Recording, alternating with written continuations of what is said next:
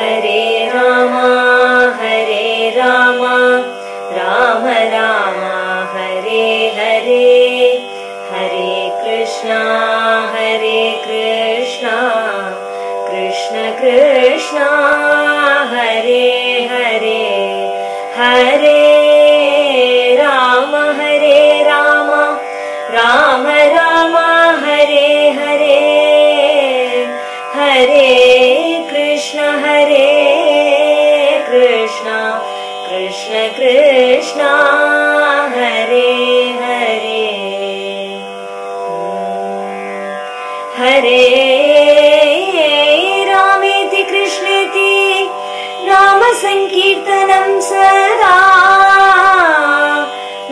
लोकक्षेमाय कुर्वन्तं प्रेमिकं सद्गुरुं भजे।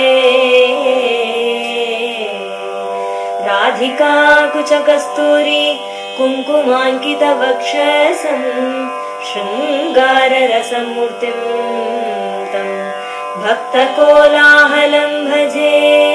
कलये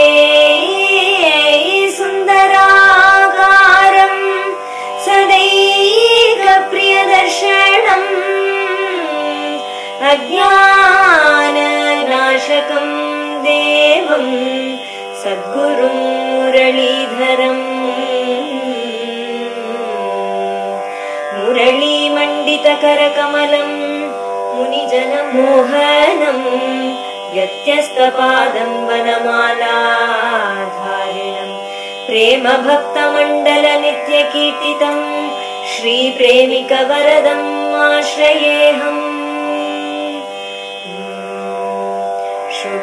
चन्द्रभागातटे पुण्डरीकाश्रमे योगपीठे पुरे पण्डराख्ये प्रतिष्ठाप्य भक्तैः सदा पूज्यमानम् भजे पाण्डुरङ्गम् भजे पाण्डुरङ्गम् घनश्यामगात्रम् नवाम्भोजनेत्रम् हरब्रह्ममित्रम् यशोदासुपुत्रम् शरच्चन्द्रवक्त्रम् लसत्पीतवस्त्रम् भजे पाण्डुरङ्गम् भजे पाण्डुरङ्गम् कटिन्यस्तहस्तम् समन्यस्तपादम् परिष्वक्तभक्तम् सदा गानमत्तम् महत्सङ्गनृत्तम् नमद्भक्तवृन्दम् भजे पाण्डुरङ्गम् भजे पाण्डुरङ्गम्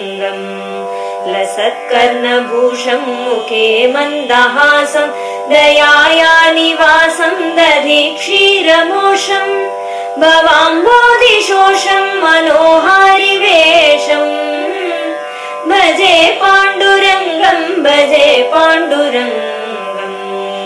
गले कौस्तुभाग्यम् मणिम् सन्दधानम् करे पाञ्चजन्यम् सुनाभम् दधानम्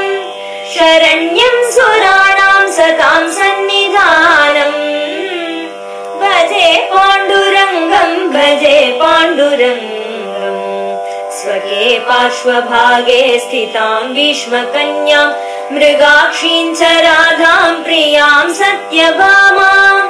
सदा तोषयन्तम् मनोमोहयन्तम् भजे पाण्डुरङ्गम् भजे पाण्डुरङ्गम्। महाभक्तवृन्दै सदा कीर्त्यमानम् महादेवमुख्यै सुरैरर्च्यमानम् महाभाग्यवद्भिर्जनैर्वीक्ष्यमानम् भजे पाण्डुरङ्गम् भजे पाण्डुरङ्गम् तुकाराममुख्यैरनन्तैः स्वभक्तैः सदा गीतकीर्तिम् सदानन्दमूर्तिम् सुखाराध्यमीशं सतां सर्वकाले। भजे पाण्डुरङ्गं भजे पाण्डुरङ्गम् कृतं प्रेमिकेण प्रियं वैष्णवाणां। पठन् पाण्डुरङ्गाष्टकं पुण्यमेतत्। भवामोदिमेतम् सुखेनैव तीर्त्वा। प्रभोः पादपद्मम् ह्यवाप्नोति भक्त्या गोप गोपिका जीवनस्मरणम् गोविन्दा। गोविन्दा पंडरीनाथ महाराज की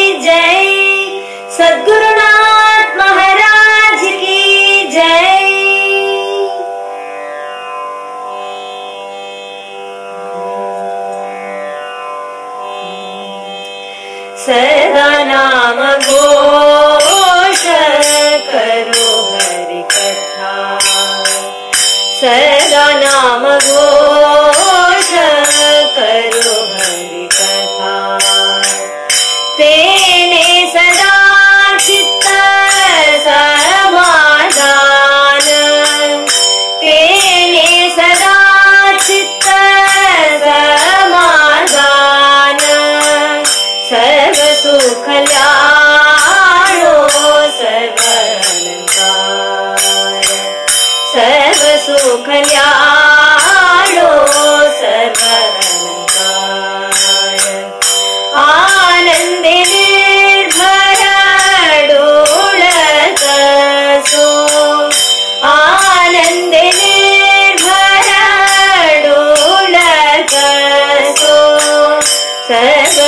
ो सर्वा ला सर्वो असो सको दे आ असो सको दे आ बहि दे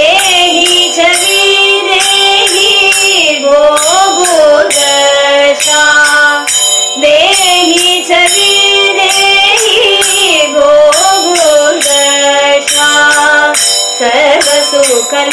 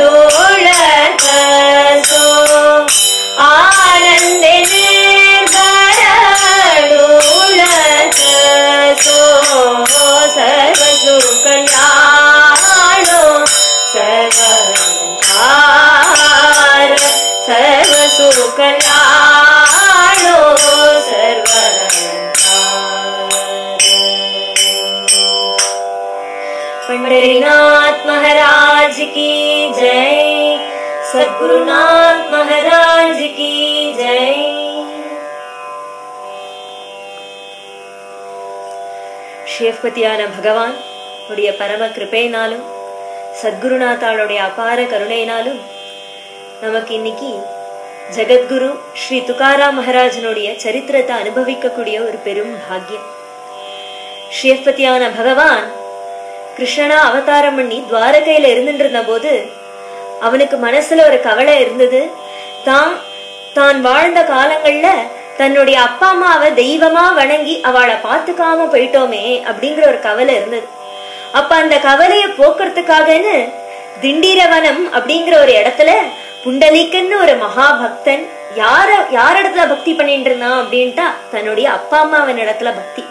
அப்படி தன்னுடைய அப்பா அம்மாவை தெய்வமா வணங்கி அவளுக்கு அப்படி கைங்கரியம் பண்ணிண்டு அவளை அப்படிதான் காப்பாத்திட்டு இருந்தான் அப்படிதான் பார்த்துட்டு இருந்தான் அப்படிங்கிற அந்த விஷயங்களை கேள்விப்பட்டு இந்த புண்டலீக்கனை பா- பார்க்கணும் இந்த புண்டலீக்கனை தரிசனம் பண்ணணும் அப்படிங்கறதுக்காகன்னு இந்த கிருஷ்ணன் துவாரகையிலிருந்து இங்க ஓடி வந்து அந்த புண்டலீக்கனை தரிசனம் பண்ணி அவனுக்கு வரம் கொடுக்கறான் என்ன வரம் வேணும் கேளு அப்படின்னு. அப்ப கேளுன்னு உடனே புண்டலீக்கனுக்கு தனக்குன்னு வரம் கேட்கறதுக்கு ஒண்ணும் தெரியல. அதனால புண்டலீக்கன் ஒரு வரம் கேக்குறான் என்ன அப்படின்ட்டா சூரிய சந்திரன் இருக்கிற பரியந்தம் நீ இங்கேயே. இப்போ நான் பண்ண இந்த அம்மா அப்பாவுக்கு பண்ண இந்த மாத்திர பித்திர பக்திய பார்த்து அதை பாக்குறதுக்காக நீங்க ஓடி வந்த. நீ வந்து இங்கேயே அப்படியே இருக்கணும். இப்ப எப்படி அழகா செங்கல் மேல இடுப்புல கைய வச்சுட்டு ஒரு ரூபத்தோட நிக்கிறையோ இங்கேயே இருக்கணும் அப்படின்னு புண்டலீக்கன் வரம் கேட்டதற்காக அன்னியிலிருந்து பாண்டுரங்கனா அங்கேயே இருந்துட்டு இருக்கான் அந்த கிருஷ்ணன். அப்போ இங்க பாண்டுரங்கனா இந்த பண்டரிபுரத்துல வந்து நின்னுட்டு இருக்கான் இல்லையா? இப்படி வந்து நின்னதுல இருந்து மாற்றி மாறி ஒவ்வொரு பக்தர்களும் மாத்தி மாத்தி வந்து இந்த பாண்டுரங்கனை தரிசனம் பண்றதுக்கு வர்றது என்ன? இந்த பாண்டுரங்கனை அபங்கங்களால பாடுறது என்னன்னு அப்படிதான் இந்த பண்டரிபுரம் இருக்கு. எல்லா பக்தர்களும் மாற்றி மாற்றி வந்து ஜே ஜே ஜே ஜே ஜே ஜே ஜேன்னு அப்படி ஒரு பஜனை நடக்கிறது. இந்த பாண்டுரங்கனுக்கும் பஜனைனா அப்படி ஒரு பிரியமா. பாண்டுரங்கனுக்கு நாமத்து மேல அப்படி ஒரு பிரியம் அப்படிங்கறதுனால சாதுக்களான சாதுக்கள் இங்க வந்து பஜனை பண்ணிட்டு இருக்கா. பொதுவா ஒரு தெய்வத்தை பிரீத்தி பண்ணணும் அப்படின்ட்டு ஒவ்வொரு தெய்வத்துக்கும் ஒவ்வொன்னு சொல்லுவா. இந்த தெய்வத்துக்கு இதை பண்ணா பிரீத்தி அடையும் இந்த தெய்வம் இதை பண்ணா பிரீத்தி அடையும் அப்படின்னு. அத போல நம்ம பாண்டுரங்கனுக்கு என்ன பண்ணா அவன் சுலபத்துல பிரீத்தி ஆவான் அப்படின்னுட்டா அவன் முன்னாடி உட்காந்து ஜால்ரா வச்சுட்டு பஜனை பண்ணா போதும் ரெண்டு நாமா பகவன் நாமாவை சொன்னா போதும் அப்படி பிரீத்தி அடைஞ்சிடுவான். இந்த பாண்டுரங்கனுக்கு ஒரு பசி இருக்கான் அது என்ன பசி அப்படின்னா சொல்றா நாம பசி. பகவானுக்கு நிவேதனம் அப்படின்னுட்டா விதவிதமான பதார்த்தங்கள் பண்ணி சப்பன் போக் அப்படின்னு எல்லாம் விதவிதமா ஏதோ பெருசு பெருசா நேவேத்தியங்கள் பண்ணா அவனுக்கு பசி தீரும் அப்படிங்கறது கிடையாதான் அவனுக்கு இருக்கிறது ஒரு நாம பசி. அதனால அவன் முன்னாடி போய் ஒரு ரெண்டு அபங்கம் பாடினாலோ இல்ல ரெண்டு நாமா சொன்னாலோ போதுமா? அதுவே அவனுக்கு அப்படியே பரம திருப்தி அடைஞ்சிடுமா. அப்படிதான் அந்த பாண்டுரங்கன் அந்த நாமத்துக்கு பிரீத்தியாகி அந்த பண்டரிபுரத்துல வந்து உட்கார்ந்துட்டு இருக்கான் இந்த பண்டரிபுரமும் எப்படி இருக்கு அப்படின்னு கேட்டுட்டா நாமாச்சா பஜார் அப்படின்னு தான் சொல்றான் ஒவ்வொரு ஊரும் ஒவ்வொன்றத்துக்கு ஃபேமஸ் அப்படின்னு சொல்ற மாதிரி இந்த பண்டரிபுரம் ஒரு பசாரா வாஸ்தவத்துல ஒரு மார்க்கெட் என்ன மார்க்கெட் என்ன பசார் அப்படின்ட்டா? நாமாச்சா பசார பண்டரி நாமாச்சா பசார் நாமாச்சா பசார பண்டரி நாமாச்சா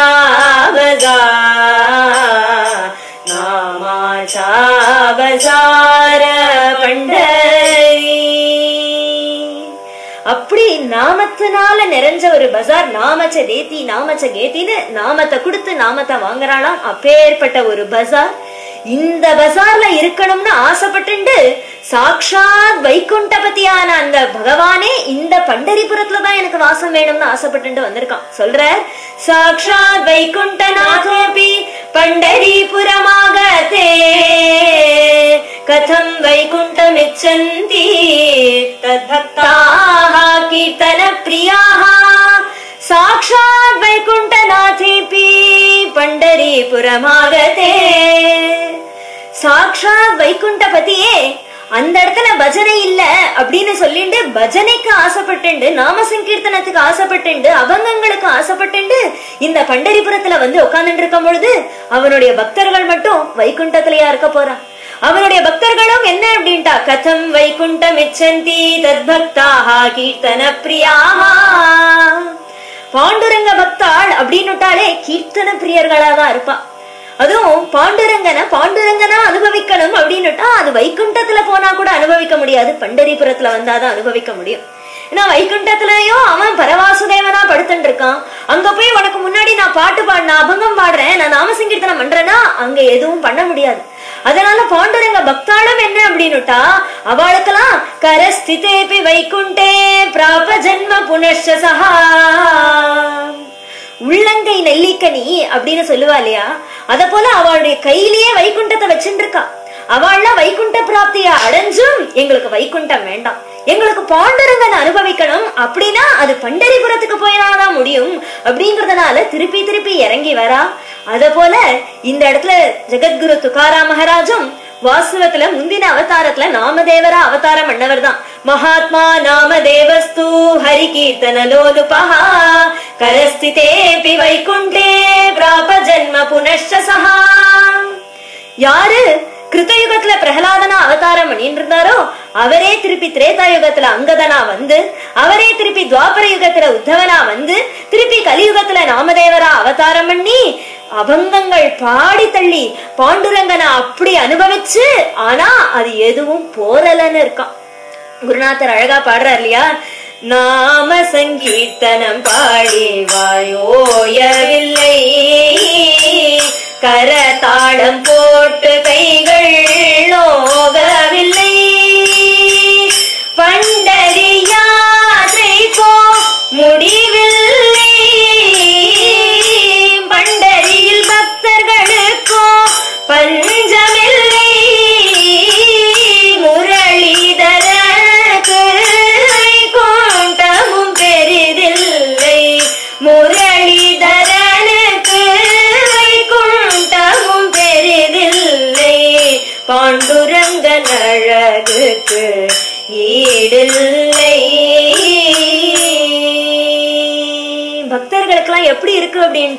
நாம சங்கீர்த்தனம் பாடிவாய். ஓயவில்லை.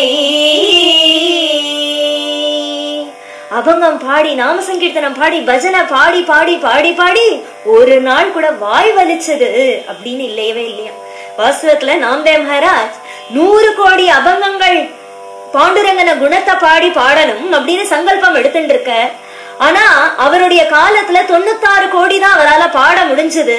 அதுக்குள்ளேயே அவருடைய அவதார காரம் காலம் முடிஞ்செடுத்து அது ஆனாலும் அதான் பாடிட்டோமே போதும் அப்படின்னே இல்லையா? நாம சங்கீர்த்தனம் பாடி மா- வாய் ஓயல திருப்பி துக்காரா மகாராஜா அவதாரம் பண்ற. கர தாளம் போட்டு கைகள் நோகவில்லை. ஒவ்வொரு பஜனையிலையும் நன்னா ஜே ஜே ஜேன்னு க- பஜனை போகும் பொழுது அப்படி கையாலேயே தாளம் போட்டு போட்டு பாடியும் கை நோக மாட்டேங்கிறதே இந்த பக்தர்களுக்கு. பண்டரி யாத்திரைக்கோ முடிவில்லை. ஒரு தடவை பண்டரிபுரம் யாத்திரை போயிட்டு வந்துட்டேன். ஜென்ம சாப்பல்யம் ஆச்சு போதும் பண்டரி யாத்திரை அப்படின்னு ஒரு நாள் தோன்றது கிடையாது எந்த பக்தர்களுக்கும். அதுவும் பண்டரிபுரம் மட்டும் எப்படி அப்படின்ட்டா ஒரு தடவை போயிட்டு வந்தோம்னாலே என்ன நிச்சயம் அப்படின்னா திருப்பி நம்ம அங்க போக போறோம் அப்படிங்கிறது சர்வதா நிச்சயம். ஏன்னா ஒரு தடவை போயிட்டு வந்தவாளுக்கு பண்டரிபுரம் திருப்பி போக மாட்டோமா அந்த அனுபவம் திருப்பி அனுபவிக்க மாட்டோமா? அப்படின்னு அந்த ஒரு ஏக்கம் இருந்துட்டே இருக்கும். அதே போல இங்க நாம்தேவ் மகாராஜுக்கும் பண்டரியிலேயே வாசம் பண்ணி பாண்டுரங்கன் கூடயே அத்தனை லீலைகள் பண்ணியும் போதும்னு அழுக்கல திருப்பி அந்த பண்டரி யாத்திரை வேணும். திருப்பி அந்த பாண்டுரங்க அனுபவம் வேணும் அப்படிங்கிறதுக்காகவே திருப்பி அவதாரம் பண்ற ஜெகத்குரு துகாராம் மகாராஜா. அதுவும் இப்ப எங்க அவதாரம் பண்றாரு அப்படின்ட்டா தேகு அப்படிங்கிற ஒரு கிராமத்துல.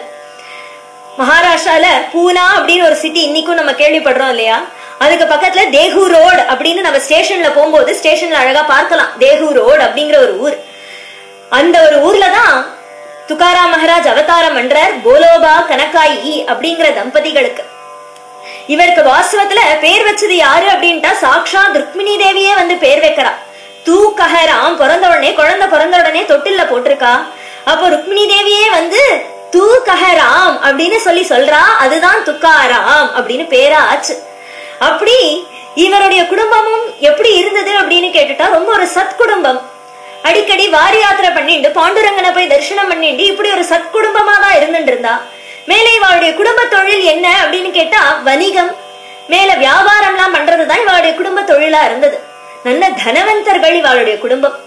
நல்ல தனவந்தர்களா இருந்தா பல பேருக்கு வட்டிக்கு கடன் கொடுத்து இப்படி ஒரு இப்படி ஒரு வியாபாரம் பண்ணிட்டு இப்படிதான் அவளுடைய வாழ்க்கைய போக்கின்றதுதான் இப்படியே இப்படி துகாராம் மகாராஜ் இப்படியே இந்த அப்பா காமிச்சு கொடுத்த அந்த ஒரு வணிக தொழிலே தானும் வந்து இப்படியே அந்த வணிகத்தை எல்லாம் பண்ணிட்டு இப்படியே பிசினஸ் எல்லாம் பண்ணிட்டு இப்படிதான் வாழ்ந்துட்டு வந்துட்டு இருந்த காலா காலத்துல கொஞ்ச நாள் கழிச்சு அவருடைய அப்பா அம்மா ரெண்டு பேரும் காலகதி அடையறா. இப்ப இவர் தான் இவர் இவருடைய தம்பி எல்லாருமா சேர்ந்துதான் இந்த பிசினஸ் எல்லாம் பாத்துக்கிறான்.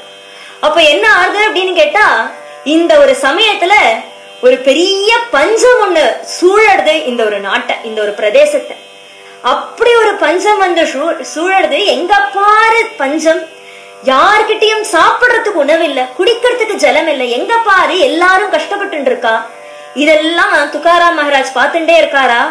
பார்க்க இவருக்கு தோன்றது இத்தனை பேர் அவ நிறைய பேர் இவர்கிட்ட இருந்து கடன் வாங்கி அந்த ப்ரோ நோட்டுன்னு சொல்லி அதெல்லாம் எழுதி வச்சிருப்பா இல்லையா? அதெல்லாம் ரெக்கார்ட் பண்ணி வச்சிருப்பா இல்லையா? அது எல்லாத்தையும் பார்த்து அவருக்கு தோன்றது இது எல்லாம் இருக்கிறதுனால அவளுக்கெல்லாம் என்ன பார்க்கறதுக்கே என் முகத்தை பார்த்து பேசுறதுக்கே அவளுக்குலாம் கூச்சமா இருக்கு. ஏன்னா இப்ப பஞ்சம் யார்கிட்டயும் கொடுக்கறதுக்கெல்லாம் கடன் வாங்கின கடன் எல்லாம் திருப்பி கொடுக்கறதுக்கெல்லாம் தன வசதி எல்லாம் யார்கிட்டயும் இல்லை. அதனால இவர் வீதியில போகும்பொழுது வாசகத்துல என்ன அப்படின்னா கடன் வாங்கினவாதான் கடன் கொடுத்தவாளை கண்டு பயந்து இப்படி தலை குனிஞ்சுட்டு போவா. ஆனா இந்த இடத்துல வாசகத்துல துக்காரா மகாராஜ் தான் வாசகத்துல கடன் கொடுத்துருக்கார். ஆனா அவர் எப்படி போறார் அப்படின்ட்டா வீதியில தன்கிட்ட கடன் வாங்கினவா யாராவது வீதியில போயிட்டாருன்னா இவர் இப்படி மறைஞ்சுண்டு குனிஞ்சுண்டே போறார் ஏன் அப்படின்ட்டா அவர் சொல்ற மகாராஜ் சொல்ற அவ எழுத்தாப்புல வந்து என்ன பார்த்துட்டா அச்சுச்சோ எங்கேயாவது இவா நம்ம கிட்ட வாங்கின கடனை எப்ப கொடுப்பேன்னு கேட்டுட போறாளோ அப்படின்னு அவ மனசு நொந்துட போயிடுது. நொந்துட போறதே அப்படின்னு பயந்துண்டு துக்காராம் மகாராஜ் இப்படி தலை குனிஞ்சுண்டு போவார் அவருக்கு தோன்றது இந்த ப்ரோ நோட் எல்லாம் இருக்கிறதுனால தானே அவளுக்கு என்ன பார்த்தா ஒரு பயம் என்ன பார்த்தா ஒரு கூச்சம்லாம் ஏற்படுறது. இது எதுவுமே வேண்டாம் அப்படின்னு சொல்லி எந் எல்லா இதையும் கொண்டு போய் இந்திராணி நதியில தூக்கி போட்டுற அப்படி அப்படிதான் அந்த ஒரு நிலவரம் இருக்கு. அப்படி அந்த பஞ்சத்திலேயே என்ன ஆறுது அப்படின்னு பார்த்தா இவருக்கு ரெண்டு மனைவிகள். மூத்த மனைவி ரக்மாபாய் அப்படிங்கிற ஒரு மனைவி இரண்டாவது மனைவி ஜீஜாபாய்னு பேரு. அந்த மூத்த மனைவி காலகத்தி அடையறா. இவருடைய மூத்த பிள்ளையான சந்து அப்படிங்கிற பையன் காலகத்தி அடையறா. மேலே இவருடைய கிரகத்துல இவருடைய அண்ணா. இவருடைய அண்ணா என்ன ஆன- என்ன அப்படின்ட்டு அவருக்கு வைராக்கியம் ஏற்பட்டு அவர் தீர்த்தாடனம் கிளம்பி போற. இப்படி வீட்டு கிரகத்துல மாற்றி மாற்றி துக்கம் சம்பவிச்சுட்டே இருக்கு. இதெல்லாம் என்ன ஆச்சு அப்படின்னு பார்த்தா இவருக்கு ஒரு பெரிய வைராக்கியத்தை கொடுத்தது. இது ஒரு பெரிய வைராக்கியத்தை கொடுத்து என்ன வாழ்க்கை இது? இவ்வளவு நாள் நம்ம சௌக்கியமா இருந்தோம்னு நினைச்சுட்டு வாழ்ந்துட்டு ஒரு வாழ்க்கை நம்மளுக்கு எந்த குறையும் இல்லைன்னு ஆனா இப்படி ஒரு பஞ்சம் வந்த உடனே மாத்தி மாத்தி இப்படி வீட்டுல வேற துக்கம் அதனால இன் நம்ம இவ்வளோ நாள் பகவத் தியானம் பண்ணாம பகவான நாடி இல்லாம இருந்துட்டோமே அப்படின்னு ஒரு எண்ணம் ஏற்பட்டு எப்படியாவது பகவத் சாட்சா்காரம் பண்ணணும் அப்படிங்கறதுனால அதற்கு ஆசைப்பட்டு நேரா அங்க பக்கத்திலேயே பாண்டாரா மலை அப்படிங்கிற ஒரு மலை அந்த மலை மேல ஏறி போய் உட்காந்து பகவத் தியானம் பண்ணிட்டு இருக்கார் அவங்கங்கள் பாடிண்டு. இப்படியே அங்கே இருந்துட்டு இருக்கார் கிரகம் பக்கமே வரல. அப்படியே அனவரதமும் பகவத் தியானத்திலேயே ஈடுபட்டு இருக்கார். அப்போ ஒரு சமயம் சாக்ஷாத் பகவானே ஒரு கருநாக ரூபத்துல பாண்டுரங்கனே வர. பாண்டுரங்கனே இந்த துகாரா மகாராஜோடைய பக்திக்கு மெச்சி அவருக்கு தர்சனம் கொடுக்கணும் அப்படிங்கிறதுக்காக வர. ஆனா வரும்பொழுது எப்படி வரார் அப்படின்ட்டா ஒரு கருநாக ரூபத்துல. ஒரு கருநாக ரூபத்துல வந்து பா- துகாரா மகாராஜுக்கு தர்சனம் கொடுக்க வர துகாரா மகாராஜோ கண்ணை திறக்க மாட்டேங்கிற எழுத்தாப்புல பாண்டுரங்கன் சொல்றான் நான் வந்திருக்கேன்பா கண்ணை தர. அப்படின்னா துகாரா மகாராஜ் சொல்ற இந்த ரூபத்துல எல்லாம் வந்தா நான் கண்ணை திறக்க மாட்டேன். நீ இந்த ரூபத்துல வந்தா நான் ஏன் உன்னை பார்க்கணும்? நீ சுந்தர ரூபனா பக்தர்கள்லாம் உன்னை பாடுறாளே. நீ எப்பேற்பட்ட சுந்தர ரூபன் அப்படின்னு பாடுறாரு. சுந்தர தே தியான உபயா விட்டேவரி சுந்தர தே தியான உபா விட்டேவரி சுந்தர தே தியான அப்படி சுந்தர ரூபனா அழகா காதுல மகர குண்டலங்கள்லாம் தரிச்சுண்டு கழுத்துல கண்டி கௌசுபமணி அப்படின்னு கௌசுபமணியை தரிச்சுண்டு கழுத்துல துளசிஹாரகளா காசை பீதாம்பரன் துளசி மாலையெல்லாம் தரிச்சுண்டு ஒரு ரூபத்துல வருவியே அந்த ரூபத்துல. அந்த ரூபத்துல வந்தாதான் மனசுக்கு அப்படியே சுககரமா இருக்கும். அதனால அந்த ரூபத்துல வா அப்படின்னு துகாரா மகாராஜ் கேட்டுண்டதுனால பாண்டுரங்கனோ பக்த வத்சலன் தானே எந்தெந்த பக்தால் தன்னை எப்படி பார்க்கணும்னு ஆசைப்படுறாளோ அப்படியே அவளுக்கு தர்ஷனம் கொடுக்கக்கூடிய அப்படியே அவளுக்கு தர்ஷனம் கொடுக்கக்கூடியவன் இந்த பாண்டுரங்கன் இதேதோ பா- துகாரா மகாராஜுக்கு இல்ல. வாஸ்தவத்துல சமர்த்த ராமதாசர் ஒரு பெரிய ராம பக்தர் அவருக்கு பகவான ராமரா பார்க்கறதுலதான் இஷ்டம் அப்படிங்கறதுனால பாண்டுரங்கனே போய் ராமனா போய் தர்ஷனம் கொடுக்கறான் அதே மாதிரி நரஹரி சோனார் அப்படிங்கிறவர் ஒரு பெரிய சிவபக்தர். அவருக்கு சிவனா பார்த்தாதான் பிடிக்கும் அப்படிங்கறதுனால அவருக்கு சிவபெருமான தர்ஷனம் கொடுக்கறான் பாண்டுரங்கன். அப்படி பக்த வத்சலனா எந்தெந்த பக்தர்கள் எப்படி ஆசைப்படுறாளோ அதுக்கேற்ப இவன் பக்தர்களுக்கு அனுகிரகம் பண்ணக்கூடிய இந்த பாண்டுரங்கன் இந்த இடத்துல துகாராம் ஹராஜுக்கு பாண்டுரங்கனா அப்படி ரூப சுந்தரனா ரூப சுந்தர சௌந்தரியத்தோட அப்படி தர்சனம் கொடுக்கறான். இந்த சமயமா தான் வாஸ்தவத்துல இவருடைய துகாராம் மகாராஜோடைய தம்பி கான்ஹோபா அப்படிங்கிறவ துகாராம் மகாராஜ தேடி தேடிண்டு வர. அங்கும் இங்கும் தேடுற ஏன்னா பல நாட்கள் ஆச்சு துகாராம் மகாராஜ் கிரகத்தை விட்டு கிளம்பி. காணுமே அண்ணாவை காணுமே அப்படிங்கறதுனால தேடிண்டு தேடிண்டு வந்தா இந்த இடத்துல என்ன ஆச்சரியம் அப்படின்னு பார்த்தா பாண்டுரங்கன் மடியில துகாராம் மகாராஜ் உட்கார்ந்து இருக்க இந்த காட்சி ரொம்ப சுலபத்துல கான்ஹோபாக்கு கிடைக்கிறது. எதனால அப்படின்ட்டா இப்ப ஏற்பட்ட மகாத்மாவுடைய சம்பந்தத்தினாலேயே. வாஸ்தவத்துல கான்ஹோபா பாண்டுரங்கனை பார்த்து ஏதோ பெருசா அபங்கம் பாடினா பாண்டுரங்கன் தர்ஷனம் வேணும்னு ஆசைப்பட்டாரான்னு கேட்டா தெரியல அது. ஆனா துக்காரா மகாராஜோடைய ஒரு தம்பி அப்படிங்கிற அந்த ஒரு ஸ்தானத்தினாலேயே அவருக்கு என்ன ஆச்சு அப்படின்ட்டா சுலபத்துல பாண்டுரங்க தர்ஷனம் ஏற்பட்டது. அப்படி பாண்டுரங்கன் தர்ஷனம் ஏற்பட்டதுல இருந்து துக்காராம் மகாராஜ் பாண்டுரங்கன் கிட்ட ஒரே ஒரு பிரார்த்தனை தான் பிரார்த்தனை பண்ணிக்கிறார். அப்பா உன்னுடைய நினைவாவே நான் இருக்கணும். ஏன்னா இவ்ளோ காலம் நான் வியர்த்தம் பண்ணிட்டேனே. இவ்ளோ காலம் நான் வியர்த்தம் பண்ணிட்டேன். அதனால இனி என்னுடைய வாழ்க்கைய உண்மயமா நான் மாற்றிடணும். எப்படி? புரந்தரதாசர் ஆரம்ப காலத்துல சீனப்ப நாயக்கனா வந்திருந்த போது அவரும் ஒரு லோகியா ஒரு தனவந்தரா பகவத் பக்கமே ஈடுபடாம இருந்துட்டு அப்படிதானே ஒரு வாழ்க்கையை வாழ்ந்துட்டு இருந்தார். பிற்காலத்துல பகவானே தான் வந்து அவரை தடுத்தாட்கொண்டு பின்னாடி புரந்தரதாசர் அப்படின்னு ஒரு பெரிய மகாத்மாவா ஆன ஆனா ஆரம்ப காலத்துல ஒரு சீனப்ப நாயக்கர் அப்படின்னு ஒரு தனவந்தரா பகவத் பக்கம் ஈடுபடாம இருந்தார் இல்லையா? அத மாதிரி இந்த இடத்துல துக்காராம் மகாராஜ் சொல்றார் நான் இவ்வளவு காலம் வியர்த்தம் பண்ணிட்டேன். அதனால இனி என்னுடைய வாழ்க்கையில ஒரு நாள் கூட நான் உன்னை மறந்துட கூடாது இதையே எனக்கு வரமா கொடு அப்படின்னு பகவான் கிட்ட பிரார்த்தனை பண்ற ஹே ஜீதான தேகா தேவா துதவி சரண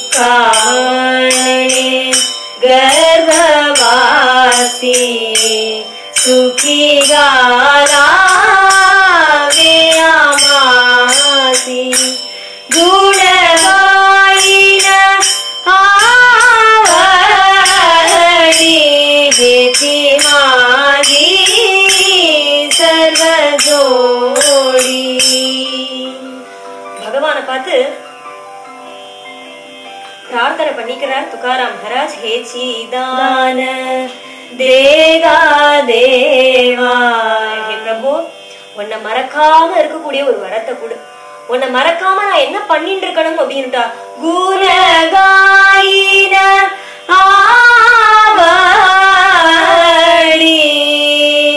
உன்னோட குணங்களையே எப்பொழுதும் நான் பாடிட்டு இருக்கணும்ப்பா ஹே பிரபு அப்பேற்பட்ட ஒரு வரத்தை கொடு சொல்ற எனக்கு முக்தி வேண்டாம் நான் சம்பத்துக்கு ஆசைப்படல. ஆனா நான் ஆசைப்படுறதெல்லாம் எதுக்கு அப்படின்னுட்டா. சந்த சங்க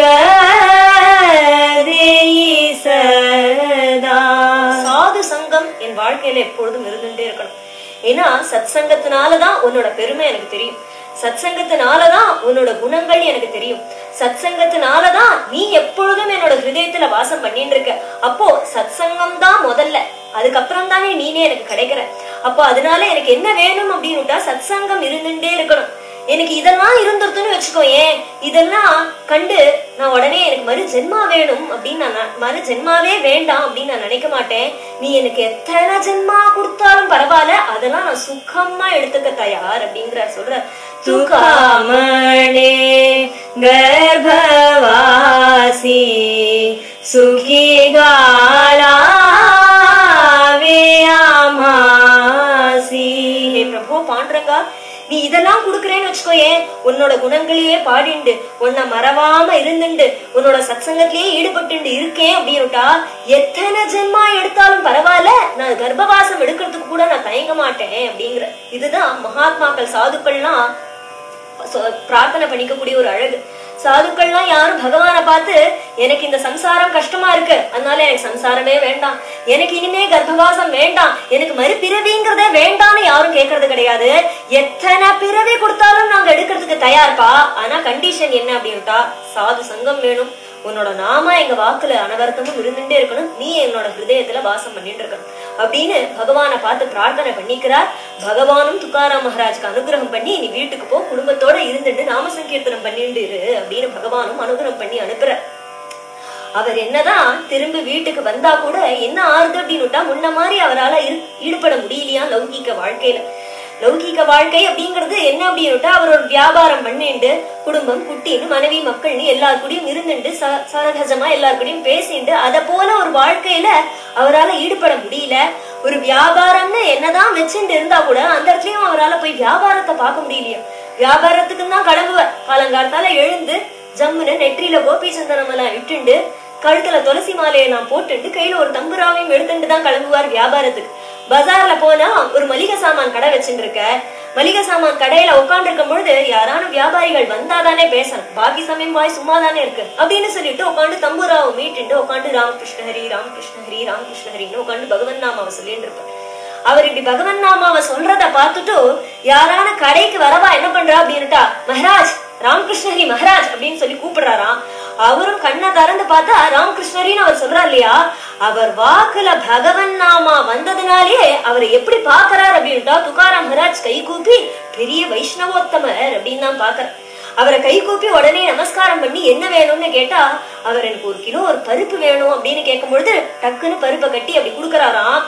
பருப்பை வாங்கிட்டு அவர் மெதுவா கொஞ்சம் தலையை சொல்லிடுறாராம் இல்ல வாங்கிக்கிறேன் ஆனா பைசா நான் அப்புறம் தரவான்னு மெதுவா இழுக்கும் பொழுது அவர் சொல்றார் மகராஜ் என்ன பைசா என்ன?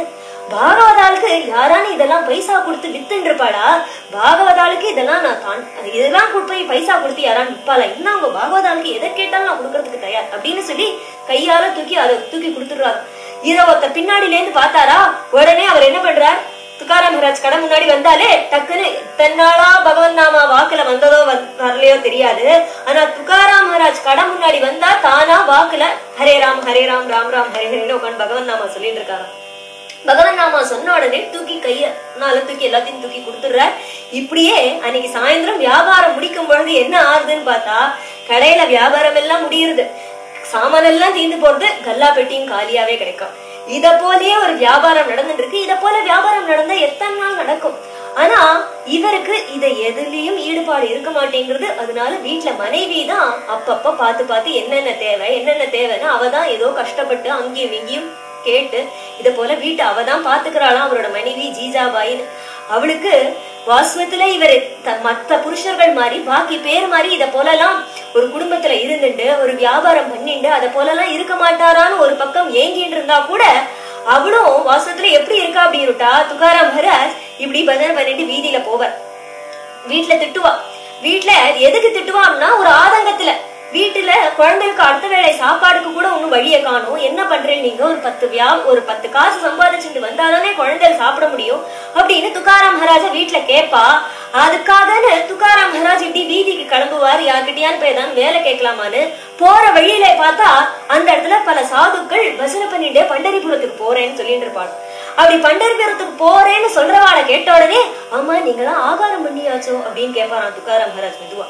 ஆகாரம் பண்ணலன்னு சொல்லிட்டா போருமா?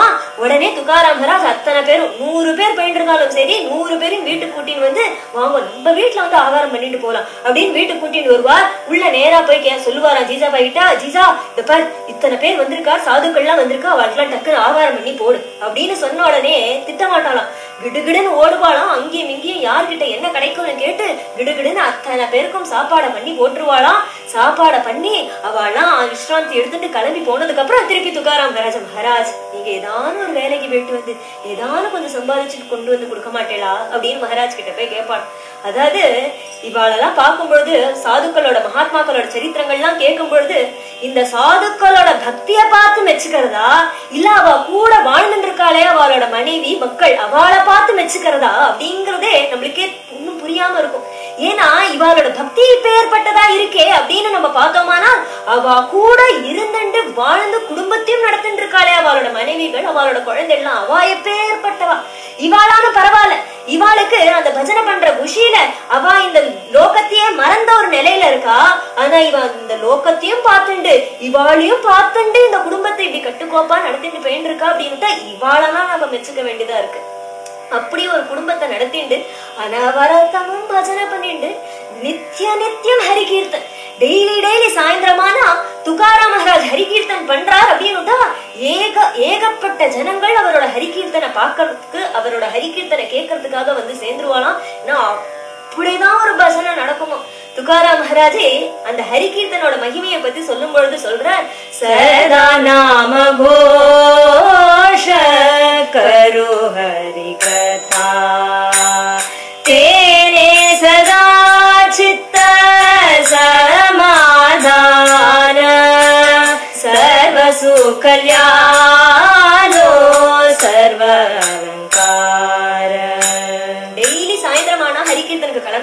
ஜம்முன்னு அலங்காரம் எல்லாம் பண்ணிட்டு அலங்காரம் அப்படின்னுட்டா என்ன டக்குன்னு பவுடர் எல்லாம் பூசிட்டு சென்டெல்லாம் பூசினா இதெல்லாம் கிடையாது அலங்காரம். வாஸ்வத்துல வாக்குக்கு அலங்காரம் எது அப்படின்னுட்டா பகவன் நாமாவை சொல்றது. ஹிருதயத்துக்கு எது அலங்காரம் அப்படின்னுட்டா பகவத் தியானம் தான் ஹிருதயத்துக்கு அலங்காரம். அதே போல கழுத்துக்கு அலங்காரம் கழுத்துல ஒரு துளசி மாலை போட்டுக்கிறது கைக்கு அலங்காரம் கையில ஒரு ஜால்ரா ஒரு சிக்லா கட்ட இன்னொரு கையில ஒரு தம்பூரா நெற்றியில ஒரு கோபி சந்தனத்தை விட்டுண்டு ஜம்முன்னு துக்காராம் மகாராஜ் அப்படி ஹரிகீர்த்தன் தலையில ஒரு டோப்பாவெல்லாம் கட்டிட்டு அப்படி ஹரிகீர்த்தனுக்கு வந்து நிப்பாராம்.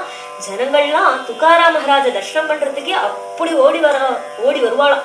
துகாராம் மகாராஜ் சொல்றாரு அந்த ஹரிகீர்த்தன் பண்ணும் பொழுது என்ன ஆறுதல் இருக்கு அப்படின்ட்டா சதா நாம கோஷ கரு ஹரி கதா தேனே சதா சித்த சமாதான. அப்படி ஒரு மனசுல ஒரு அமைதி ஒரு சமாதானம் ஒரு நிம்மதி ஏற்படுறதாம் அதனால அந்த ஹரிகீர்த்தனை பண்ணாம அவரால் இருக்க முடியல. ஒரு நாள் துகாராம் மகாராஜோட வாழ்க்கையில ஒரு நாள் ஹரிகீர்த்தன் பண்ணல அப்படின்னு சரித்திரம் கிடையாது.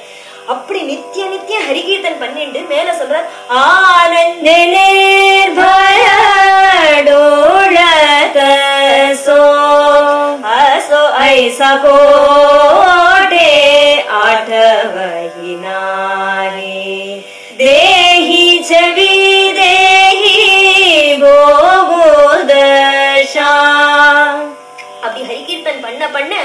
என்ன ஒரு நிலைக்கு போயிடுறா அப்படின்னுட்டா தான் எங்க இருக்கோம்? அப்படிங்கிற ஒரு மறந்த நிலையில இருக்கானோ அசோ ஐசே கோடே ஆட்டவழி நாயி தான் எங்க இருக்கோங்கிற பிரஜை கூட இல்லாம தேகிஞ்ச விதேகி. தேகம் இருக்கு வாசம் தான் ஆனா தேகம் இருக்கும் பொழுதே ஒரு விதேக நிலையை அடையறாளாம்.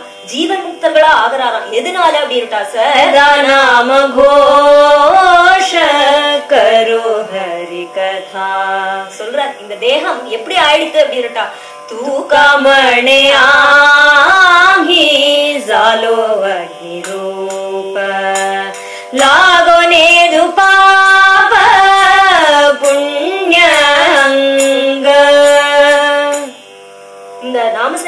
பண்ணி பண்ணி பண்ணி பண்ணி இந்த தேகமே அக்னி ரூபமா ஆயிடுது. ஒரு அக்னிக்கு தான் எது போட்டாலும் பொசிக்கிடும் இல்லையா? இது நல்லது இது கெட்டது அப்படிங்கிற எந்த வித்தியாசமும் இல்லாம எது போட்டாலும் பொசிக்கிடும். ஒரு குப்பையை கொண்டு போய் போட்டாலும் அந்த குப்பையும் பொசுக்கும்.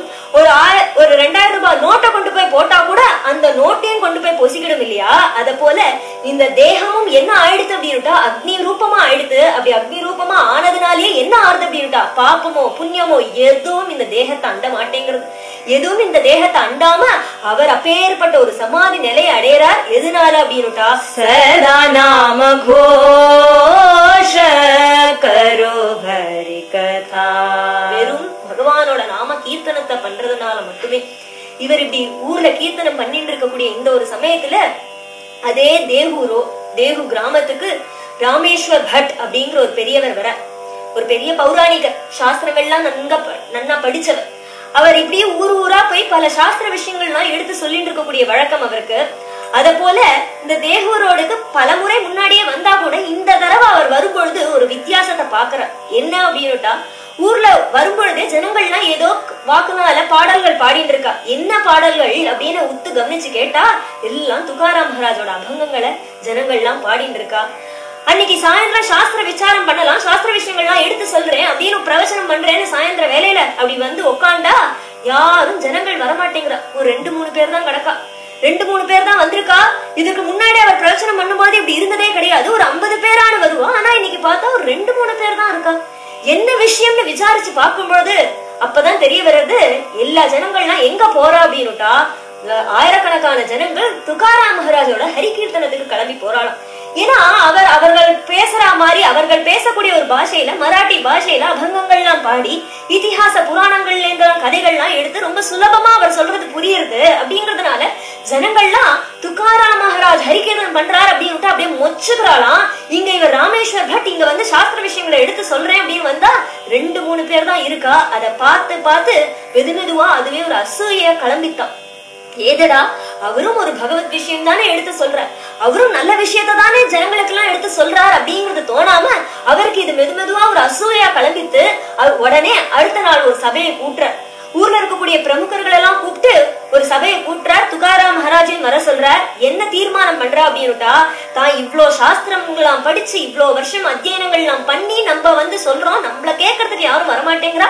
ஆனா ஜனங்கள்லாம் யாரோ ஒருத்தர் அபங்கம் பாடுறா. அவர் பின்னாடி இப்படி போறாளே அப்படிங்கறதுனால அவர் மேல தண்டனை பண்ணணும். அவருக்கு தண்டனை கொடுக்கணும் அப்படிங்கறதுனால என்ன தண்டனை விதிக்கிறா? அப்படின்னுட்டா இத்தனை நாட்கள் என்னென்ன அபங்கங்கள்லாம் எழுதியிருக்காளோ அந்த அத்தனை அபங்கங்களையும் கொண்டு போய் அவ ஊர்லயே இந்திராயணி அப்படிங்கிற ஒரு நதி பிரவகிக்கிறது அந்த நதியில கொண்டு போய் போட்டுடணும் அப்படிங்கிற ஒரு தண்டனையை விதிக்கிறா துகாராம் மகாராஜ். அவர் இத்தனை நாளா ஹரிகீர்த்தன் பண்ணார் இல்லையா? இனிமே ஹரிகீர்த்தனமும் பண்ணக்கூடாது. இத்தனை நாள் எழுதின அபங்கங்களையும் கொண்டு போய் அந்த இந்திராணி நதியில கொண்டு போய் போட்டுடணும் அப்படின்னு தண்டனையை விதிக்கிறா துகாராம் மகாராஜும் ஊர் ஜனங்களுக்கு ஊர் பிரமுகர்கள்லாம் சேர்ந்து ஒரு தீர்மானம் பண்ணியிருக்கா அப்படின்னு விட்டா நீங்க என்னமா சொல்லலாம்? நான் என்னமா போடுவேன்? அப்படின்னு விதண்டாவாதம் பிடிக்கலையா? சரின்னு துகாராம் மகாராஜும் அவர்கள் சொன்ன வார்த்தையை ஏத்துக்கிறார். கொண்டு போய் அத்தனை அபங்கங்கள். வீட்டுல எழுதியிருக்கக்கூடிய அத்தனை அபங்கங்களையும் நேரா எடுத்துட்டு போறாரு இந்திராயணி நதிக்கு. இந்திராயணி நதிக்கு எடுத்துட்டு போகும்பொழுது ஜீஜாபாய் வந்து அழறா. மகாராஜ் என்ன காரியம் பண்றேன் நீங்க? இத்தனை நாளா ராவா பகலா அன்ன ஆகாரம் கூட எடுத்துக்கிறோமா இல்லையாங்கிறது தெரியாம அந்த பகவானையே நினைச்சு உருகி உருகி எழுதியிருக்கேன் ஒவ்வொரு அபங்கங்களையும். இந்த அபங்கங்கள்லாம் எப்படி உங்களுக்கு மனசு வருது? கொண்டு போய் போடுறதுக்கு. மகாராஜ் போடாதீங்க போடாதீங்கன்னு கெஞ்சரா இருந்தாலும் ஊர் பெரியோர்களுக்கு கட்டுப்பட்டு துகாராம் மகாராஜ் கொண்டு போய் அத்தனை அகங்கங்களையும் கொண்டு போய் அந்த இந்திராணி நதியில கொண்டு போய் போடுறார். அன்ன ஆகாரம் இல்லாம அந்த இந்திராணி நதிக்கரையிலேயே உட்கார் நதிக்கரையிலேயே ஒரு கல்லு மேல வந்து உட்காந்துருக்கார் அன்ன ஆகாரம் எடுத்துக்க மாட்டேங்கிறார். ஜீஜாபாய் அவர் சாப்பிட மாட்டேங்கிறாருங்கிறதுனால ஜீஜாபாய் சாப்பிட மாட்டேங்கிறா. ஜீஜாபாய் சாப்பிடல அப்பா சாப்பிடலங்கிறதுனால குழந்தைகள் யாரும் சாப்பிட மாட்டேங்கிறா. இப்படி வீட்டுல யாருமே சாப்பிட மாட்டேங்கிறா. நாட்கள் ஆனா கழிஞ்சுட்டே இருக்கு. இந்த ஒரு சமயத்துல எந்த ஒரு ராமேஸ்வர் பட் இப்படிப்பட்ட ஒரு காரியத்தை பண்ணாரோ இப்படிப்பட்ட ஒரு தண்டனையை கொடுத்தாரோ அவருக்கு ஒரு தீராத ஒரு நோய் வருது என்ன அப்படின்னுட்டா உடம்பெல்லாம் அப்படி ஒரு அரிப்பு. அவருக்கு அந்த அரிப்பு குறையவே மாட்டேங்கிறது. என்னென்னமோலாம் வைத்தியம் பண்ணி பாக்குறா கொண்டு வந்து சந்தனத்தை பூசி பாக்குறா குறைய மாட்டேங்கிறது. சரின்னு ஜலத்துக்கடியில நின்னாலான்னு அந்த அரிப்பு தன்மைலாம் அதெல்லாம் எரிச்சல்லாம் அதெல்லாம் போகுமோ அப்படின்னு பார்த்தா ஜலத்துக்கடியில இருந்தா கூட அந்த உடம்புல இருக்கக்கூடிய அந்த எரிச்சல் போக மாட்டேங்கிறது. என்னென்னமோ வைத்தியர்கள்லாம் கூப்பிட்டு ஊர்ல இருந்து பெரிய பெரிய வைத்தியர்கள் எல்லாம் கூப்பிட்டு என்னென்னமோ வைத்தியம் பண்ணி பாக்குறா எந்த வைத்தியத்துக்கும் அவர் உடம்புல இருக்கக்கூடிய அந்த எரிச்சல் தனியவே மாட்டேங்கிறது. கொஞ்ச நாள் கழிச்சு ஒரு பதிமூணு நாள் ஆச்சு பதிமூணு நாள் ஆனதுக்கு அப்புறம் என்ன ஆச்சு அப்படின்னுட்டா அந்த ஊர் ஜனங்கள் அத்தனை பேரும் பாக்குற மாதிரி ஒரு அதிசயம். அங்க ஒண்ணு ஏற்படுறது. என்ன அப்படின்னுட்டா சாக்ஷாத் இந்திராயணி தேவியே துகாராம் மகாராஜ் எந்தெந்த அபங்கங்கள் எல்லாம் கொண்டு வந்து இந்த நதிக்குள்ள போட்டாலோ அந்த தேவி அத்தனை அபங்கங்களையும் கொண்டு வந்து நீட்டுறாளாம் துகாராம் மகாராஜ் கிட்ட. திரும்பி அத்தனைத்தையும் கொண்டு வந்து கொடுக்குறாளாம். அங்கேருந்து ஜீசாபாய் சண்டைக்கு வர ஏமா உனக்கு இவ்வளவு நாள் ஏமா ஆச்சு? கொண்டு இப்ப கொண்டு வரேன் தீர்மானம் பண்ணிட்டு அப்படின்னுட்டா போட்ட முதல் நாளே கொண்டு வந்திருக்கலாமே. ஏன்னா அவளுக்கு ஆதங்கம். பதிமூணு நாட்கள் பர்த்தா குழந்தை யாரும் அந்த ஆகாரம் இல்லாம இருந்திருக்கு. இதெல்லாம் காரணம் இவர் இந்த நதி தானே. இன்னைக்கு கொண்டு வந்து கொடுத்தனா அன்னைக்கே கொண்டு வந்து கொடுத்துருக்கலாமே அப்படின்னு கேட்டா அதுக்கு அந்த தேவி இந்திராயணி தேவி சொல்றாளாம் இல்லம்மா இந்த அபங்கத்தை என்ன நம்ம மடியில வந்து விழுந்திருக்குன்னு இப்படி பிரிச்சு பார்த்தேன். பார்த்தா ஒன்னொன்னும் அப்படி அனுபவம் அனுபவ பூர்வமா இருக்கக்கூடிய ஒவ்வொரு அபங்கங்களையும் படிக்க படிக்க அப்படியே கண்ணுனால ஜலம் பெருகிறது. இதெல்லாம் படிச்சுட்டோம் ஏதோ ரெண்டு மூணு படிச்சுட்டோம் மூடி வச்சுட்டோம்னு என்னால இருக்க முடியல. இது அத்தனைத்தையும் படிச்சு முடிச்சுட்டு தான் கொடுக்கணும்னு தோணிட்டு அதுக்கு தான் இவ்வளவு நாள் ஆச்சு அப்படிங்கிறாளாம் இந்திராயணி தேவி. இப்படி இந்திராணி தேவியே திருப்பி கொண்டு வந்து துகாராம் மகாராஜுக்கு அத்தனை அபங்கங்களையும் கொடுத்து கொடுக்கறாரா இந்த விஷயத்த ராமேஸ்வர் பட்டு கேக்குறார் அப்பதான் புரிஞ்சது தான் பெரிய ஒரு அபச்சாரம் பண்ணிட்டோம் தான் ஒரு மகாத்மாக்கு அபச்சாரப்பட்டதுனாலதான் தனக்கு இப்போ ஒரு தீராத ஒரு நோய் ஏதோ ஒரு வியாதி மாதிரி வந்து நம்மள வந்து நம்மளால நிம்மதியாவே இருக்க முடியாத ஒரு நிலையில நம்ம இப்ப இருக்கோமே. அதனால நேரா ஓடி வராரு இந்திராயணி நதிக்கரையில இருக்கக்கூடிய துகாராம் மகாராஜ் கால்ல சாஷ்டாங்கமா நமஸ்காரம் பண்றார். துகாராம் மகாராஜ் ராமகிருஷ்ண ஹரி ராமகிருஷ்ண ஹரி ராமகிருஷ்ண ஹரின்னு சொல்லிண்டே மெதுவா அவருக்கு தடவி கொடுக்கிறார். அப்படி தடவி கொடுத்த அடுத்த க்ஷணம் அவர் உடம்புல இருந்த அந்த எரிச்சல்லாம் எங்க போச்சுன்னே தெரியல. இவ்வளோ நாளா பதிமூணு நாளா தவிச்சுட்டு இருந்தார். இதுக்கு ஏதான ஒரு வைத்தியம். கேட்காதா? எந்த ஒரு வைத்தியத்துக்காவது இது ஒரு தீர்வு கிடைக்காதா? அப்படின்னு தவிச்சுட்டு இருந்த அந்த ராமேஸ்வர் பட்டுக்கு இந்த இடத்துல துகாராம் மகாராஜ் கால்ல வந்து விழுந்த உடனே அவர் தடவி கொடுத்த அடுத்த க்ஷணம் அந்த அரிப்பெல்லாம் எங்க போச்சுன்னு தெரியல. துகாராம் மகாராஜ கை கூப்பி சொல்றார் மகாராஜ் என்ன மன்னிச்சுக்கோங்க நான் தெரியாம தப்பு பண்ணிட்டேன். நீங்க தான் என்னோட குருநாதர் அப்படின்னு துகாராம் மகாராஜ பார்த்து அப்படி பாடுறார். துகாராமா துகாராமா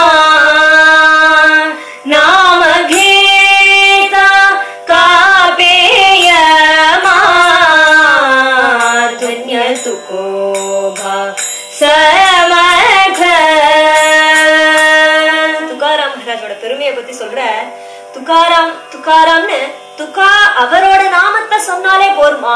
யமனே பயந்து நடுங்கோனா நாம கேதா யமனே நடுங்கு நடுங்கு போயிடுவான். உங்களோட நாமத்தை சொன்னாலே ஏன்னா அனுபவம் இல்லையா? இவ்வளவு நாளா அந்த ஒரு வேதனையில உயிரே போயிடும் போல இருந்துதான். ஆனா எப்ப துகாரா மகாராஜ் கிட்ட வந்தாரோ அடுத்த க்ஷணம் அந்த அரிப்புல இருந்த இடம் தெரியாம போயிடுதே. அதனால சொல்ற நாம கேதா காபேயமா சகிதகட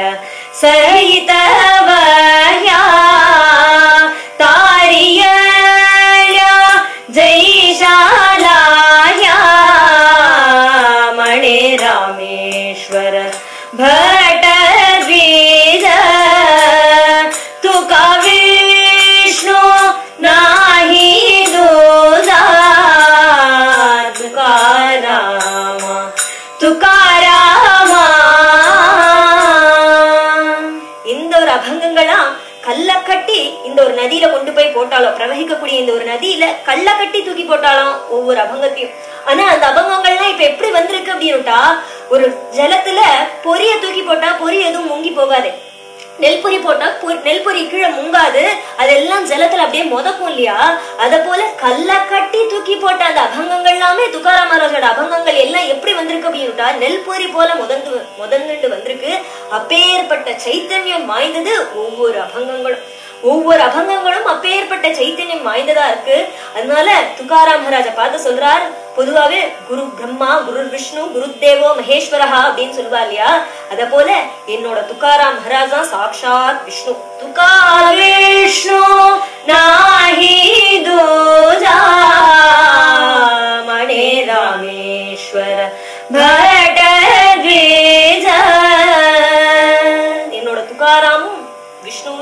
கிடையாது. சாட்சாத் பகவான் தான் என்னோட துகாரா மகாராஜ் அப்படின்னு துகாரா மகாராஜ்க்கு ஒரு சிஷ்யரா ஆனாரா ராமேஸ்வர் பட் இப்பேற்பட்ட ஒரு சாஸ்திரங்கள்லாம் படிச்சிருக்கோம் நம்ம. பண்டிதன் நம்ம அப்படின்னு ஒரு அகங்காரத்தோட இருந்தவர் அவர். ஆனா அவர் கூட கடைசியில துகாரா மகாராஜோட சிஷ்யரா ஆறார். இப்படி பல ஜனங்கள் சுகாராம் மகாராஜா கொண்டாடின்னு இருக்கா ஆனா அவர் பகவான பார்த்து பிரார்த்தனை பண்ணிக்கிறது என்ன அப்படின்ட்டா லஹன பன தேகா தேவா தேவா. பகவானை பார்த்து எனக்கு எளிமையா இருக்கு நான் எளிமையா இருக்கணும். எனக்கு எளிமையா வரமா கூடு அப்படின்னு பகவானை பார்த்து பிரார்த்தனை பண்ணிக்கிறார். அப்படி ஒரு வாழ்க்கையை தான் வாழ்ந்துட்டு இருக்க. துகாராம் மகாராஜ் வாஸ்தவத்துல. ஒரு எளிமையான ஒரு வாழ்க்கையை தான் வாழ்ந்துட்டு இருக்க. அங்கேருந்து சிவாஜி மகாராஜா வர வரும்பொழுதே பொண்ணு பொருள் அது இதுன்னு கொண்டு வந்து துகாராம் மகாராஜோட காலடியில போட்டா கூட அதெல்லாம் பார்த்து என்ன சொல்றாரு அப்படின்னுட்டா தேமஜன் விற்த்திகே சமான அப்படிங்கிற ஆம்பி தேனே சுகி மனா விட்டல விட்டல முகி துமிச்சே ஏற வித்ததன தேமஜன் விற்த்திகே சமான பா சிவாஜி நீ எனக்கு இதெல்லாம் சந்தோஷத்தை கொடுக்கும் அப்படின்னு நினைச்சுட்டு இந்த பொண்ணு பொருள் இது எல்லாத்தையும் கொண்டு வந்து கொடுத்துருக்க இல்லையா? ஆனா வாஸ்வத்துல இதெல்லாம் எனக்கு சந்தோஷத்தை கொடுக்காதுப்பா இதெல்லாம் எனக்கு எதுக்கு சமானம் அப்படின்னுட்டா மண்ணுக்கு சமானம் ஆனா எனக்கு சந்தோஷத்தை கொடுக்கணும் அப்படிங்கிறதுக்காக நீ ஏதாவது காரியம் செய்யணும்னு நினைச்சியானால் நீ என்ன தெரியுமா பண்ணணும்? ஆம்பி தேனே சுகி மணா விட்டல விட்டல முகே. வாக்குனால விட்டல விட்டல விட்டல விட்டலன்னு அந்த பகவானோட நாமத்தை சொல்லின்று அந்த நாமத்தை சொல்வதன் மூலமா தான் என்ன சந்தோஷப்படுத்த முடியும்? பகவன் நாமா சொல்றதுதான் எனக்கு சந்தோஷத்தை கொடுக்கும். நீ இப்படி பொண்ணும் பொருளும் கொண்டு வந்து கொடுக்கறதுனால கிடையாது அப்படின்னு சிவாஜி மகாராஜா கிட்டேயே பார்த்து சொன்னவர் துகாராம் மகாராஜ். ஏதோ வீட்டுல நிறைய இருக்கு. அதனால இத பார்த்து சொன்னாரான்னு கிடையாது. வீட்டுல வாசத்துல ஒரு தன வசதி கிடையாது. வீட்டுல அடுத்த வேளை சாப்பாடுக்கு கூட என்னன்னு ஜீஜாபாய் யோசிச்சுட்டு இருக்கக்கூடிய ஒரு ஸ்திதி தான் துகாராம் மகராஜ் வீட்டுல. ஆனா அப்பேற்பட்டவர் இப்படிப்பட்ட ஒரு வார்த்தையை சொல்றார் அப்படின்னுட்டா துகாராம் மகராஜ் சொல்லும் பொழுது அதனாலதான் சொல்லுவார் ஆயிரம் சன்னியாசிகளுக்கு சமானம் அப்படிங்கிற ஆயிரம் சன்னியாசிகள் சேர்ந்து எப்பேற்பட்ட ஒரு ஸ்திதியில மனோபாவத்தோட இருப்பாளோ அப்பேற்பட்ட பக்குவம் அடைஞ்சவர் துகாராம் மகாராஜ். ஆனா சம்சாரத்துல இருந்துட்டு இருக்க இப்பேற்பட்ட இந்த துகாராம் மகாராஜ் அவரோட வாழ்க்கை அவதாரம் பண்ண காரியம் எல்லாம் முடிஞ்ச உடனே பகவான் பாண்டுரங்கனே சொல்றார் அப்பா துகாராம் நீ அவதாரம் பண்ண காரியம் எல்லாம் முடிஞ்சிடுத்து நீ வர வேண்டிய சமயம் வந்தாச்சு. அதனால இன்னைக்கு ராத்திரி முழுக்க பஜனை பண்ணின்று நாளைக்கு மத்தியானம் பன்னெண்டு மணிக்கு நான் என்னோட கருட வாகனத்தை அமைச்சு உன்னை என்னோட வைகுண்ட தாமத்துக்கு கூட்டிட்டு போறேன் அப்படின்னு பகவான் அனுகிரகம் பண்றான். சரி நான் இன்னைக்கு ராத்திரி விடிய விடிய விடிய விடிய பஜனை பண்ணி அடுத்த நாள் கார்த்தால வீட்டை விட்டு கிளம்புற வீட்டை விட்டு கிளம்பும் பொழுதே மனைவி ஜீசாபாய் கிட்ட சொல்ற அம்மா ஆவளி அப்படின்னு கூப்பிடுற. ஆவளின்னு தான் கூப்பிடுவேன் ஆவளி இங்க வா. நான் வைகுண்டத்துக்கு கிளம்ப போறேன். வரியா? அப்படின்னு கூப்பிடுற. பொதுவாகவே துக்காராம் மகாராஜ் சத்சங்கத்துக்கு எங்கேயாவது போறார் அப்படின்னு விட்டாலே வைகுண்டத்துக்கு போறேன் அப்படின்னு சொல்லிட்டு தான் போவேன். அதை போல சத்சங்கத்துக்கு தான் கிளம்புறாரோ அப்படின்னு நினைச்சுட்டு மகாராஜ் எனக்கு வீட்டுல நிறைய வேலை இருக்கு. எருமாட்டை குளிப்பாட்டணும் சமைக்கணும் குழந்தைகளை பார்க்கணும் நிறைய வேலை இருக்கு. அதனால நீங்க போயிட்டு வாங்க அப்படின்னு சொல்லி அனுப்புறார். துக்காராம் மகாராஜும் கிளம்பி வர தேகு கிராமத்துல நடுவுல ஒரு மரம். அந்த மரத்து மேல பகவான் சொன்னது போல கருட வாகனம் வந்தாச்சு. கருட விமானம் வந்தாச்சு. துகாராம் மகாராஜ் எல்லார்கிட்டயும் கடைசியில ஒரு தடவை ராம் ராம் சொல்லிக்கிறார். நம்மளா சத்சங்கத்துக்கு போனா வந்தா ஒருத்தருக்கு ஒருத்தர் பாத்துக்கும் பொழுது ராதே ராதே ராம் ராம் அப்படின்லாம் சொல்லிப்போம் இல்லையா? அதை போல துக்காராம் மகாராஜ் கடைசியா ஒரு தடவை அத்தனை ஜனங்கள் தேவு கிராமத்துல இருக்கக்கூடிய அத்தனை ஜனங்கள் ஏன்னா எத்தனை ஹரிகீர்த்தன் பண்ணிருக்கார் எத்தனை ஹரிகீர்த்தனுக்கு இந்த ஜனங்கள்லாம் ஓடி ஓடி ஓடி ஓடி வந்து கேட்டிருக்கா அந்த ஜனங்கள் எல்லாம் பார்த்து சொல்றார் ஆம் ஹி ஜாதோ அப்ளியா காவா அமுச்சி ராம ராம கியாவா அமுச்சி ராம ராம கியாவா அமுச்சி ராம ராம கியாவா तुमची आमची हेची भेटी येथुनिया जन्म तुटी येथुनिया जन्म तुटी येथुनिया जन्म तुटी आमची आ जातो आपल्या गावा சொந்த ஊருக்கு கிளம்புறேன் எது சொந்த ஊருனா வைகுண்டம் தானே வைகுண்டத்து வைகுண்டத்துல இருந்து இறங்கி வந்தவர் தானே அதனால சொல்ற ராமி ஜாதோ அப்ளியா காவா ஆம்சா ராம ராம கியாவா என்னோட கடைசி ராம் ராம் உங்க எல்லாருக்கும் நீங்க எல்லாருமோ அந்த கிராமத்து என்னோட என்னோட கிராமத்துக்கு வந்து சேரணும் அப்படின்னுட்டா ஏதாரி தாமி கோணி விட்டல விட்டல போலாவாணி விட்டல விட்டல போலாவாணி விட்டல விட்டல போலாவாணி. ஜனங்கள் எல்லாம் பார்த்து சொல்ற நீங்களும் கூடிய சீக்கிரம் என்னோட கிராம என்னோட சொந்த ஊருக்கு வந்து சேரணும் அப்படின்னுட்டா வாக்குனால விட்டல் விட்டல் விட்டல் விட்டல்னு அந்த விட்டல நாமத்தை சொல்லுங்க.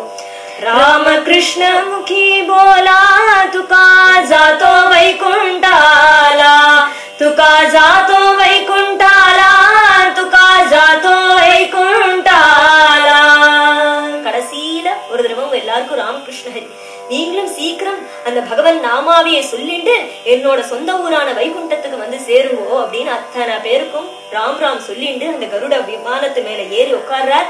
பகவானுக்கு என்ன ஆழ்த்து அப்படின்னுட்டா துகாராம் மகாராஜ பொதுவாவே இந்த சரீரம் இந்த சரீரத்தோட நம்ம இந்த பூலோகத்துல இறங்குறோம் அப்படின்னுட்டா இந்த சரீரத்தை எடுத்துட்டு நம்மளால மேல் லோகத்துக்கு போக முடியாது. இந்த சரீரத்தை இந்த லோகத்தோட விட்டுட்டு தான் போக முடியும். ஆனா துகாராம் மகாராஜ் விஷயத்துல மட்டும் பகவானுக்கு அவரோட சரீரத்தை கூட இந்த லோகத்துல விடுறதுக்கு மனசு இல்லையா? ஏன்னா அவரோட ஒவ்வொரு ரோமமும் பகவன் நாமாவை சொல்லுமா.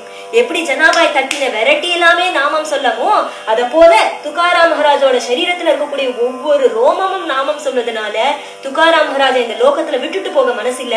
துகாராம் மகாராஜ சரீரத்தோட பகவான் வைகுண்டத்துக்கு கூட்டிட்டு போறான். பங்குனி மாசம் வித்திய கிருஷ்ணபக்ஷ வித்திய அன்னைக்கு அப்படி அத்தனை பேரும் பார்க்க சரீரத்தோட வைகுண்டத்துக்கு கிளம்பி போறார். அத்தனை பேரும் துகாராம் மகாராஜோட நாமத்தை துகாராம் துகாராம் துகாராம் துகாராம் துகாராம் துகாராம் துகாராம் துகாராம் துகாராம் துகாராம் அப்படின்னு துகாராம் மகாராஜோட நாம கோஷம் போட்டுட்டே அத்தனை பேரும் பார்க்கும் விதமா துகாராம் மகாராஜ் வைகுண்டத்துக்கு கிளம்பி போற அப்போ அவர் இப்பேற்பட்ட ஒரு நிலையை அடையறார். இது எதனால அவரால சாதிக்க முடிஞ்சது? அப்படின்னு துகாசாலாசி கலச பஜனகரா சாவகாச அவர் அப்படி வாழ்நாள் முழுக்க அப்படி ஒரு பஜனை பண்ணிட்டு இருந்ததுனால அப்படி ஒரு நாம சங்கீர்த்தனம் பண்ணிட்டு இருந்ததுனால இன்னைக்கு சரீரத்தோட கிளம்பி போறார் அப்படின்னுட்டா அப்பேற்பட்ட அந்த நாம சங்கீர்த்தனம் நம்மளுக்கும் பிராப்தி ஆனும் அப்பேற்பட்ட அந்த நாம சங்கீர்த்தனத்துல ஒரு ருச்சி நம்மளுக்கும் ஏற்படணும். அந்த நாம சங்கீர்த்தனம் பண்ணுவதற்கான உடல்ல ஆயுள் ஆரோக்கியம் எல்லாம் பகவான் கொடுக்கணும் அப்படிங்கிற பிரார்த்தனைய பகவான் இடத்துல பிரார்த்திச்சுண்டு இன்றைய சத்சங்கத்தை பூர்த்தி பண்ணிக்கணும் कायेन वाचा मनसेन्द्रिये वा बुद्ध्यात्मना भात् प्रकृते स्वभावात् करोमि यद्यत् सकलं परस्मै नारायणायेति समर्पयामि। हरे राम हरे राम राम राम हरे हरे। हरे कृष्ण हरे कृष्ण कृष्ण कृष्ण हरे हरे। हरे राम हरे राम राम राम हरे हरे। हरे कृष्ण हरे कृष्ण कृष्ण कृष्ण हरे हरे गोपिका जीवन स्मरण गोविंदा गोविंदा पंडरीनाथ महाराज की जय। सदगुरुनाथ महाराज की जय।